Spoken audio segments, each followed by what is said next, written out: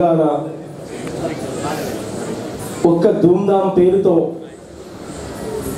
సమైక్యాంధ్రవాద నిర్బంధాన్ని అధిగమించి తెలంగాణ గుండె గొంతును పది జిల్లాల్లో వినిపించినటువంటి నా తోటి కవులకు కళాకారులకు నాకంటే పెద్దవాళ్ళకు అందరికీ పేరు పేరున సాంస్కృతిక ఉద్యమాభివందనాలు ఒక్క ధూమ్ధాం వచ్చిన తర్వాత నేను మాట్లాడను కానీ మాట చెప్పకుండా నేను పాట పాడలేను ఇంకా. ఒక్క ధూమ్ధాం వచ్చిన తర్వాత చిన్న పిల్లగాని కానుండి పెద్ద మనిషి వరకు ఇవాళ ఊళ్ళల్లో పాటలు పాడేటువంటి పరిస్థితి వచ్చింది. ఎందుకంటే ఎవరో ఒక కళాకారుడు వస్తేనే ప్రోగ్రామ్ అవుతుంది మీటింగ్ అవుతుంది అనేటువంటి రోజులు పోయినాయి. ప్రతి ఒక్క కళాకారుడు ఊరూరుకు ఒక గద్దరన్న ఊరూరుకు ఒక గొరేటి వెంకన్న ఊరూరుకు అందశ్రీ ఊరూరుకు రసమై బాలకృష్ణ అన్న ఊరు ఊరికి ఇట్లా తయారైనటువంటి కళాకారులు ఉన్నారు. వాళ్ళందరినీ కూడా ఈ ధూమ్ధాం స్వాగతించి ఈ ధూమ్ధాం వేదిక కింద తెలంగాణ రాష్ట్రం రావాలి వచ్చిన తెలంగాణలో సామాజిక న్యాయం కావాలి పూలి అంబేద్కర్ ఆలోచన విధానంతో సమానత్వం కావాల్సినటువంటి అవసరం కూడా ఉంటుంది. దానికోసమే బహుజనం పాటగా అన్న కోరినట్టు రెండు పాటలు కూడా అదొక చరణం ఇదొక చరణం పాడతాను టైం తీసుకొని ఎక్కువ. విప్లవ పోరాటాలకు పేరుగాంచిన కోట బైసెల్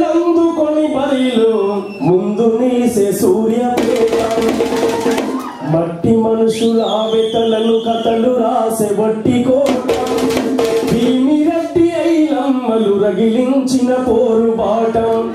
యుద్ధ గీతి సుత్తాల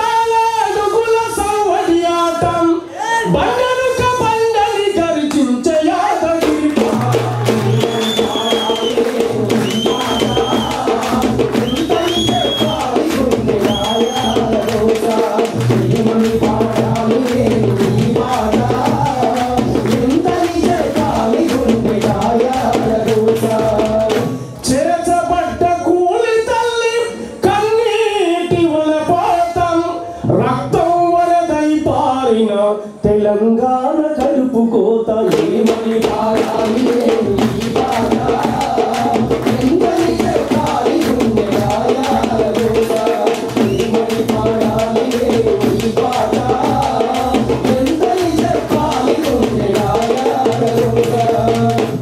ఈ పాట చాలా ఉంది అలా సభలు పాడుకుందాం అలల మీద సాగుతున్న నవల అనే పాట మా రసమై బాలకృష్ణ ప్రత్యేకంగా అడిగిండు.